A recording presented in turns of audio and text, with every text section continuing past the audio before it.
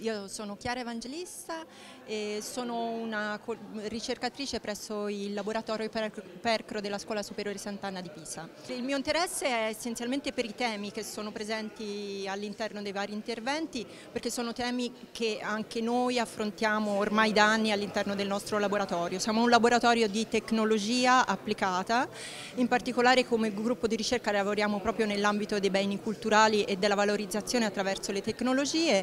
e abbiamo sperimentato negli anni vari tipi di tecnologie proprio applicate a, questi, a queste tematiche della divulgazione, della diffusione e della, ehm, della conoscenza appunto. Ho trovato molto interessante eh, soprattutto l'approccio sulla, eh, sull'utilizzo della tecnologia a servizio della eh, divulgazione, quindi il, il, tema principale appunto della narrazione, dello storytelling come eh, parametro diciamo, di eh, creazione di un'applicazione multimediale più che la tecnologia come eh, strumento principale.